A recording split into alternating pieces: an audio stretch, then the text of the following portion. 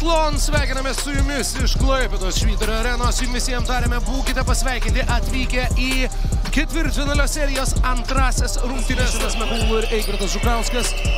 Gerisono Brukso, kaip jūdu su Vaidu Leliu gaminėjot studiją iš vakar rungtynėse neišvyks. kad to potencialo dar turi labai daug ir jo tiesiog neparodo. Gailius, drąsiai ir taikliai. Vyriausias. Ką bandys prižiūrėti varžovų polimo lyderį. Rutherfordas priima perdavimą. Ir to E, Čia toks emocinis e, pralaimėjimas. dar sykį krauna namų komanda. į- Salimonas per Niukirko rankas. Rašydas Salimonas. Labai Laisvas įmesti tritaškį pasitikėjimas nėra toks pat, kai tu susikuri pats. Bet kai esi susikūręs pats, tuomet laisvas gali pataikyti ir trečią. Pacevičiaus užtvara 2 prieš 2, Sargiūnas susikūrė žingsnį erdvės, nusimeta kamuolį Lambrechtui ir Timas Lambrechtas. O jo viduryje pristabdytas traumos, rašytas Salimonas. Kamperidis po driblingo. Georgijos Kamperidis.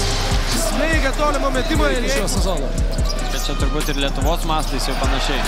Maronko gauna kniuždantį bloką. Žaidimą dabar yra pražangos e, jau komandinės ir manau, kad tikrai pats atakuos daugiau. Kamperidis. Dar vienas.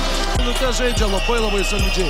Labai produktyviai ir e, žinant, vėlgi, žinant, kad jis yra graikas, dažniausiai graikai moka žaisti. Bandys ieškoti Eigirdo, šiandien tikrai jaučia tą metimą. Iš visų distancijų, tiek dvitaškis, tiek tritaškis. Martynas Pacevičius ieško Džošo Niukirko. Niukirkas naudojasi užtvarą į kitą pusę, veržiasi iki galo ir pelno taškus. Vėlgi matome grįžta pavėlavęs e, perkreiptų veidų. Taip susėmęs už dešinio kelio. Džošas Niukirkas gynybinis Jeffrey Taylor. mokėti protingai prasižengti. Vienas iš dažnai Dabar taip pat labai labai skaudus smūgis Vulkstvins, bet Minėto graži verpstė ir du taškai baudos aikštelė. Irgi, irgi turėjau pats pajudėti, kad galėčiau pasakyti. Ir e, pavėluota ta gynyba leido jam užbaigti. Mindaugas Girčiūnas gali. E, Dažniausiai lietuviai ir turi timtelti kartais legionierius link to gero, gero rezultato. Čia Neptūno ataka. Tim.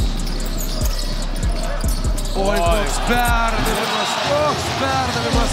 Ir Klaipėdiečių kapitono metimas 27 taškai skiria komandas. Tarmanas po driblingo 2 taškai.